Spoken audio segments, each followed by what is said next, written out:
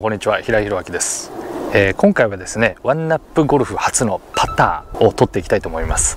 え、パターといってもですねいろいろ小分けして取っていきますが今回はですねストロークの仕方を取っていきたいと思います。一概にストロークといってもですねすごい難しいんですよね。まっすぐ引こうとしてもヘッドがブレてしまったりとか早く振ろうとして遅く振ろうとして意外と逆の動きになってしまったりとかって多いと思うんですけども一般的な基本はこういうストロークしてくださいねっていうことをちょっとお伝えできればと思って撮っていきます。平井宏明のワンナップゴルフ。まずはですね距離関係なく今ちょうどこれ1.5メーターぐらいにボール置いてあるんですけども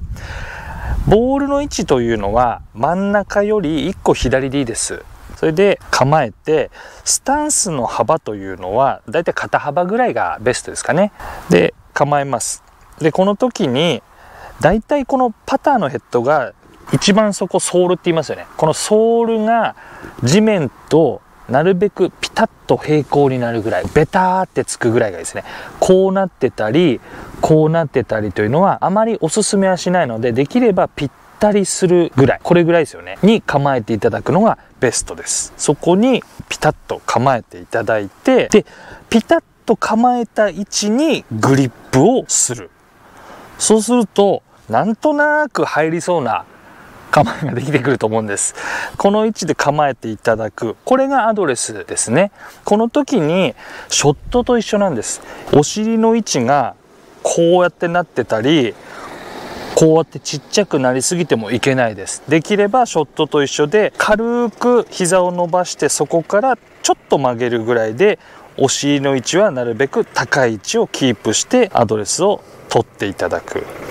よくボールが目の下とか言うんですけどもあんまり僕はそれ気にしたことないんでとにかくピタッとした位置で構えて自分の振りやすい位置に構えていただいた方がいいと思います。まずこの位置構えます。で次に振り方なんですが振り方はアドレスで構えた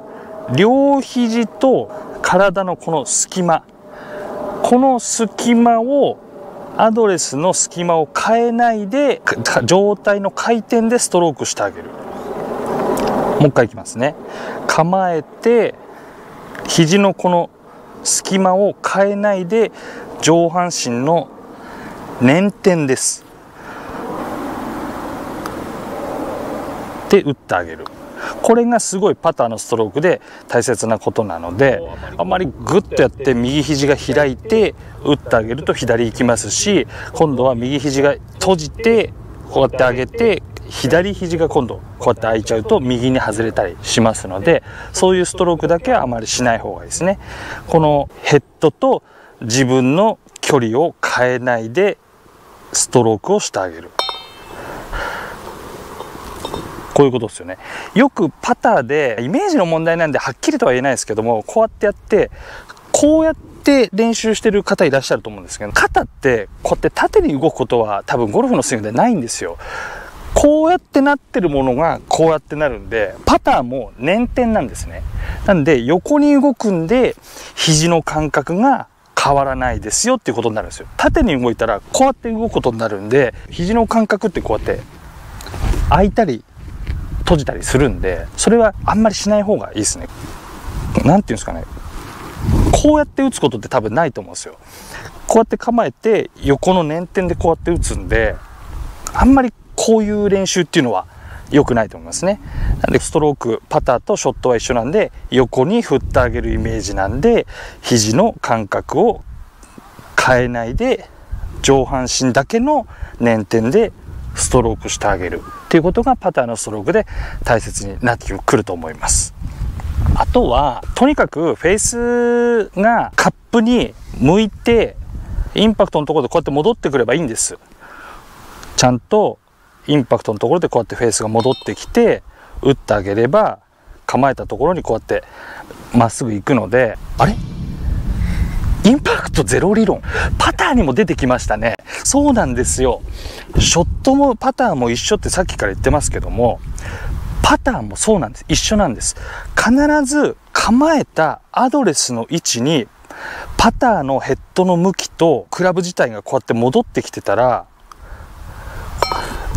なんとなくこう構えたところにほとんど飛んでくんですよ。なので、ショットをちっちゃくしただけがパターなので動きってショットとあんまり変わんないんですよ。構えがちょっと変わるだけでこのクラブの動いてる動作っていうのはあんまり変わらなくて必ずその自分の向いてるアドレスの方向にまっすぐフェースが戻ってきてクラブもインパクトのところの形にこうやって戻ってくれば必ずまっすぐ行きますのでそのストロークを心がけてあげればいいと思います。あとは本当にこの構えをしてまっすぐ引いてまっすぐ出そうとしてるとクラブがどんどんどんどん体からこうやって遠ざかったりしますので本当にこのまんま立ってこうやって打ってるイメージがあったら十分なんでそれだけで。自分のセンターにこうやって構えてこうやって打ってあげたら多少扇になりますのでそれはあんまり気にしない方がいいと思います。ずっとずっとこうやってまっすぐまっすぐってキープしてるとどんどんどんどんこうやって覗き込んじゃったりこうやってなっちゃったりするんであんまりそれはいいストロークではないので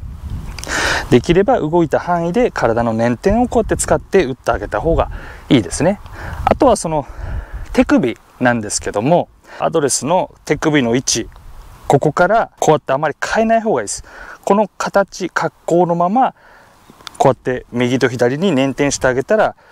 手首動かさなくてもパターは勝手に動きますので自分からこうやって打ってあげたりとかってあまりしない方がいいと思いますね。アドレスの形のまま動いてあげれば勝手に動くということになりますのでそのストロークを心がけていただけたらと思います。では今回ですねパターのストロークに対して説明させていただきました。最後までご視聴ありがとうございます。